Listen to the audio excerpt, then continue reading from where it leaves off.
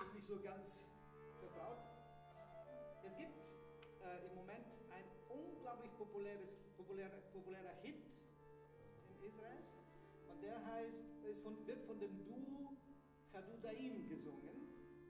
Äh, das Lied heißt Eref Shel Shoshanim, was so viel wie Abend der Rosen bedeutet. Und ich möchte Ihnen etwas vorlesen. Es ist ein Abend der Rosen. Lass uns in den Garten gehen. Myrte, Gewürze und Weihrauch sind ein Teppich unter deinen Füßen. Die Nacht sinkt langsam und dein Wind weht von Rosen. Lass mich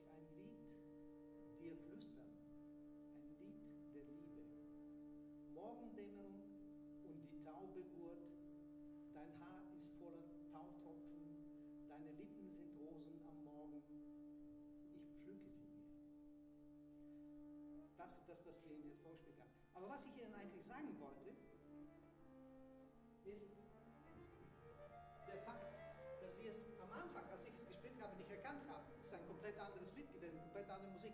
Und ich sage Ihnen warum.